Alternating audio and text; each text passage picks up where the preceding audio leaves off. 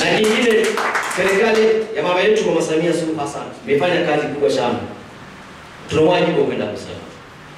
Serikali imejenga madarasa mengi kupitia mfuko wa COVID, tuna wajibu kwenda kuombea wananchi kazi kama. Serikali imefanya kazi kubwa ya kuweza kujenga zahanati, hospitali, shule zimejengwa. Tunao wajibu mkubwa wa kuweza kwenda kusimama.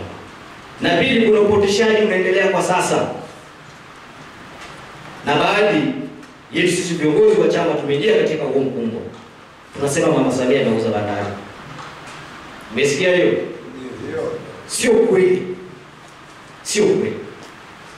Bandari haijauzwa. Kilichofanyika ni binafsishwa. Kwa mfano leo hii serikali, mfano leo hii serikali, shirika la mitandao ya simu ya serikali ni TTCL. Nani mwenye TTCL hapo?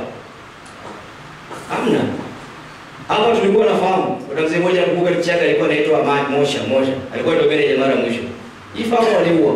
Kwa serikali inachofanya ni kwamba inajaribu kubinafsisha ili kuboresha. Na hii ikiboreshwa ina maana tutaweza sisi kusafirisha mizigo, kupokea mizigo mingi. Na tutaweza kusafiri kama sasa tunajenga standard gauge kutoka Dar mpaka Mwanza. Itakuwa na haja gani ya kujenga third kama una mizigo kuleta mpaka Mwanza? Lengo ni zuri, na waziri mkuu amesema amepokea maoni ya tanzania Kuna baadhi ya vipengele vitafanyiwa marekebisho, lakini sio kwamba bandari.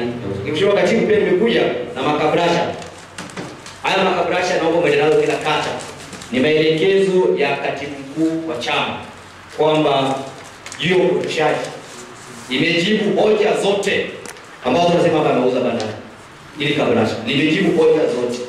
Kwa naomba nimetoa ziko kopi kama 40. Kwa naomba kila kata wapewe viongozi wa kata. Wewe ukienda pale center weka hapo kuripoti. Anasema ameuza bandari anasema kufungu gani? Unaweza kufungua utamjibu. Na mkienda vile kama viongozi wa chama hajapata haya makabrasha.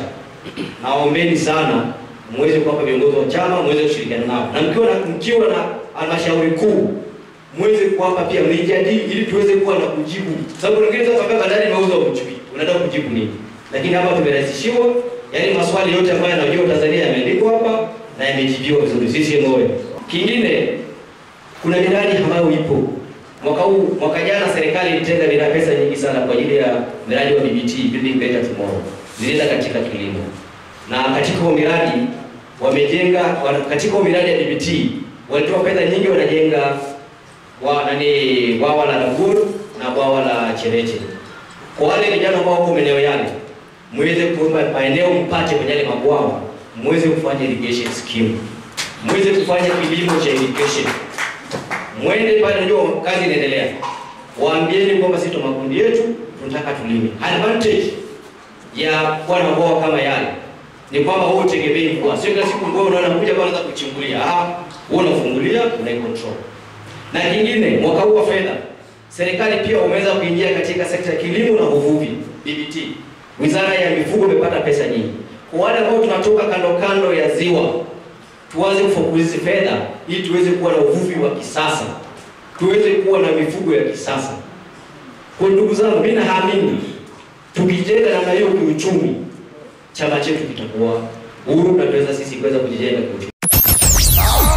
Kwa matangazo ya biashara mbalimbali na huduma za habari na huduma za habari. Leo 24 TV. Leo 24 TV. Tu- tu- Tuko na wewe. Tunapatikana wilaya ya Tarime, mkoa wa Mara, Tanzania. Ta- ta- Tanzania.